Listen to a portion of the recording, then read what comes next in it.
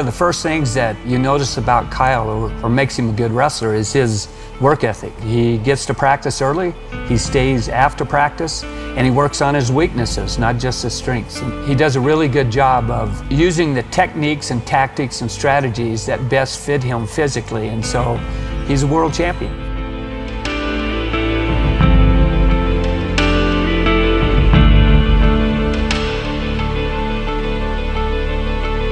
Kyle Snyder became uh, one of Maryland's first three-time state high school champs and decided early on that he had some greater goals beyond being a state high school wrestling champion and immediately made the decision that he wanted to be the best in the world at the very highest level. Moved to the United States Olympic Training Center here in Colorado Springs, trained every day with the single goal of being the best in the world. You know, I talked it over with my family. I knew I wanted to pursue wrestling at that time. I knew I needed to be in an environment that would be challenging if I wanted to improve and this was the place that I felt like would make that happen for me. The family system itself is structured. It's a close knit group. I think he matured at a young age. His parents did a great job with him. He understands hard work, he understands responsibility. There's no blame. If he makes a mistake, he accepts the blame and he fixes the problem. I think it goes all the way back to his early years growing up. The fact that somebody taught him well.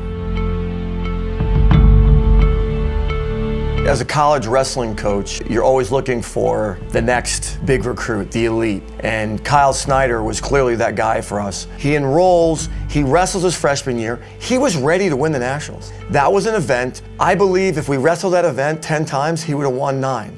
But he got caught in a position, and credit to his opponent for capitalizing on a position he shouldn't have been in. You know, those things are just opportunities for him to learn. And he really views it that way. Mentally, the shift that I made in focusing on improvement and focusing on my effort instead of focusing on the accolades and winning, it made me excited to compete against the best people in the world. Three months after that defeat, he makes the U.S. World Team. He was really young, and to beat the reigning Olympic champion was a sign of this guy's mental capacity to believe that he can get things done is surreal. When he beat Varner, it kind of solidified in my mind that this guy is on a course of success that I hadn't seen before. And then in Vegas, we know he wins the world championships. You know, I believed in myself, but who, who else would have believed that somebody who didn't win the NCAAs could win the Worlds a couple months later? I feel like the NCAA loss made you hungrier coming into here?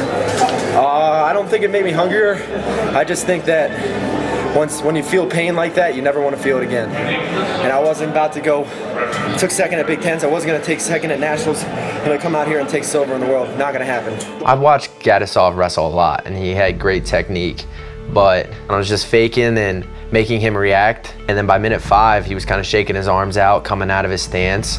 And he was still wrestling really hard. I think people, people were like, man, he got tired. That's why you took him down. I was like, no, he was strong. Even in that six minute, trust me, he was strong. But it was just enough to where I was able to get to his leg and score. And he wasn't reacting as fast as he normally was in the beginning of the match. Feeling knowing you just won the world championships, you're, you're one of the best wrestlers in the world. I think it's a hard feeling to describe and something that you should celebrate about. Kyle went overseas a few times uh, during the college season. He wrestled Boltukaev and lost. He doesn't want to have uh, a loss, but the bottom line for Kyle is it was a great opportunity to learn more about himself and the positions he needs to improve on. Boltukaev's stuff. You know, they wrestled earlier in Krasnoyarsk and it was a close match. And so we have to learn from that. Anytime you get two good athletes, tactics and strategy plays into it immensely and preparation. I remember after the match, I just kind of sat down. I like sitting down by myself after uh, losses and kind of evaluating it and then talking to the coaches a little bit later. He is a great wrestler.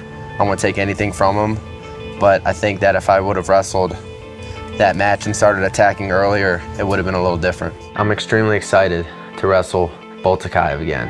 I hope that Russia sends him. I want to compete against him. So in January 2016, decided to come out of my Olympic red shirt and compete for the Ohio State and finish the second semester in school. That's good for me because then I can see what I'm doing well, see what I need to get better at. There was pretty much one guy that everybody kind of had already picked to win the NCAA tournament that year at heavyweight, and his name was Nick Gwiazdowski. He was two-time national champion.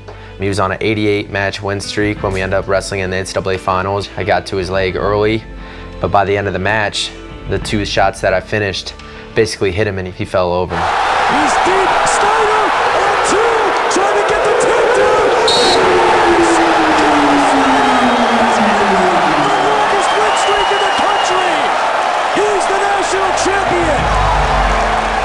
I think that came from the work that I put in early on in the match, which allowed me to score in minutes seven and eight. He can operate, I call it level 10 and at level 10 output all the time. And a lot of people can't. So when they come in and they practice with us and they see what he can do, you know, he's in level 10 and the other guys are operating at four or five. It's like he does everything like that. You know, from the lift to the sprints to the wrestling to the drills. And then you go, oh, that's why he's special. I'll work out in the morning around 9 a.m. Monday, Wednesday, Friday, I'll lift in the morning. Tuesday, Thursday, I'll wrestle and condition. Anytime you have to mentally prepare for a match and then cool down and then prepare for another match and kind of get into that groove of a tournament, I think it helps allow you to make more of a routine and allows it for you to be more comfortable in those situations that come at the Olympic trials, at the Olympic Games, and in other tournaments that we're competing in this summer. He's on a mission. He's focused on what it is that he wants to do. He wants to be a master of the sport. Wrestling's fun for him. He's going out and giving everything he's got every second. I know that. I'm not worried about who he's going to wrestle. You know, it's just it's just a matter of getting the most out of him of his performance. I want to get 100% out of myself. When I am at my best, I think that I am the best wrestler in the world. Kyle Snyder's potential is somewhat limitless. He understands it's about achieving his full human and athletic potential. Bruce Baumgartner's record of, you know, 13 World Olympic medals, multiple World Championships, obviously that's within Kyle Snyder's potential. Uh, and ultimately history will determine whether, you know, he achieves his full uh, athletic potential. I don't think there's like a number of I want 12 golds and this many wrestlers of the years and this many teams. I think it's just just wanting to be really good at wrestling, the best wrestler the world has ever seen, ever.